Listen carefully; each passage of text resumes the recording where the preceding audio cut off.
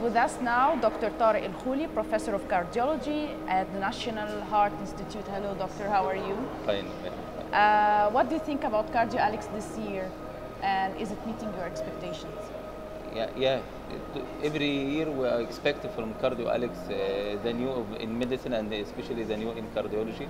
And uh, now we are uh, coming uh, this year with uh, many uh, effort uh, uh, in CardioAlex uh, regarding the new techniques in intervention, the new techniques in imaging, and especially uh, that is related to the, the complications uh, of the patients or the, uh, the coronary artery disease, especially in coronary artery disease.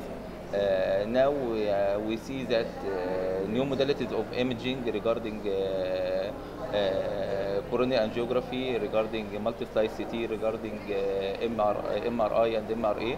Uh, also the echocardiography and the new uh, modalities of, uh, of imaging uh, in echocardiography.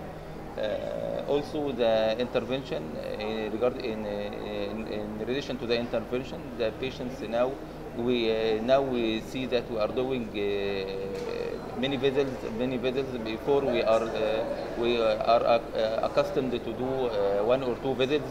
Now we do uh, multiple interventions and uh, very complicated cases, and we, the uh, get us uh, what is new in this intervention, and we we come every year to see this and uh, to practice what they are doing.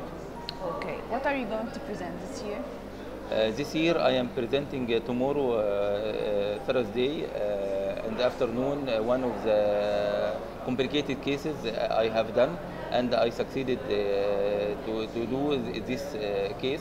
Uh, it is uh, one of the cases of uh, coronary aneu- aneurysm, uh, uh, aneurysms, and we also know that coronary aneurysm is one of the diseases that is uh, difficult to do in uh, by coronary angiography and by the intervention and by uh, surgery. Uh, the patient uh, had uh, multiple aneurysms in his coronary artery uh, and also aneurysms in uh, the rest of the blood vessels in his body.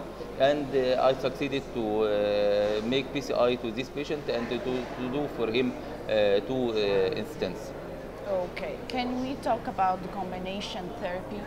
Uh, Yes, it is uh, one of the important topics, uh, the combination therapy, uh, because uh, many patients uh, now are taking multiple diseases, multiple medications, and the the one of the most important problem that they they are taking many pills all over the day, and after uh, some time the patients uh, find themselves uh, that they, uh, they are bored and they, they would like to stop everything and he uh, had difficulty to select what is important and what is not important.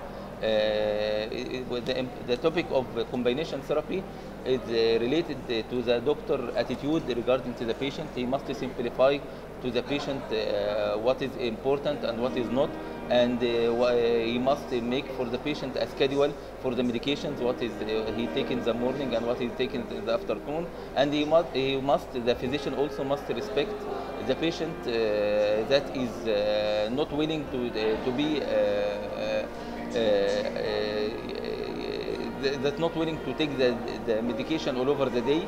He can prescribe for him uh, uh, simple drugs in the morning and simple drugs in the, afternoon, in the afternoon that suits the patient and uh, make him not uh, to stop the medication. okay. Thanks a lot, doctor. Thank Very you. nice to see you today. Thank you. you.